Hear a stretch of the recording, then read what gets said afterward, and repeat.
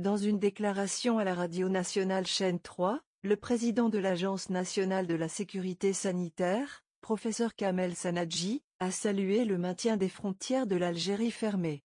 Il estime que cette décision est la meilleure solution pour lutter contre la propagation du Covid-19 et de ses variants dans le pays.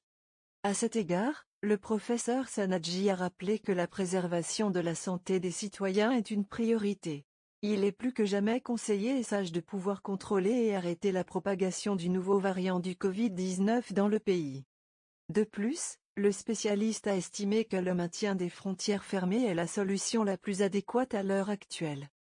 Pour Kamel Sanadji, l'ouverture des frontières et la reprise des vols internationaux de vers l'Algérie restent, pour le moment, une décision précoce face au risque des variants mutants du coronavirus.